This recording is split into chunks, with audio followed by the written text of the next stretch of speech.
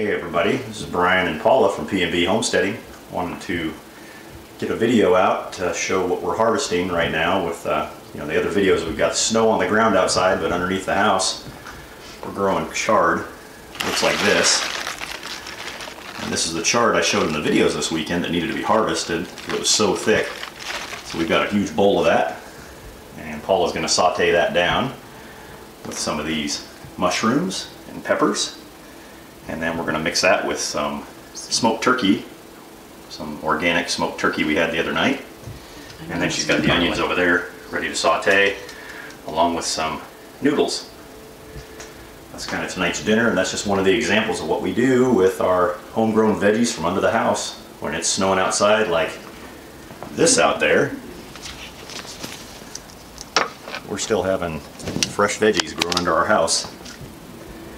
So I thought you guys might like to see that.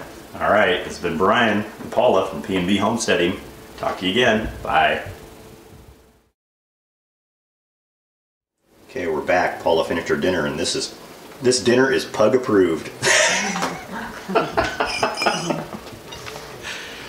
See, still a lot of chard left in there. This is what the final product looks like. Mm-hmm. Maybe that put your fresh Parmesan on there. They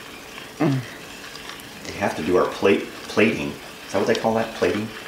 I don't know. I don't know. The foodies that you put all that stuff on your Pinterest thing for, or Instagram. Oh, I put that right. Gonna beat me. There you go. Okay, over here. There it is. Mmm, I'm gonna be eating good tonight.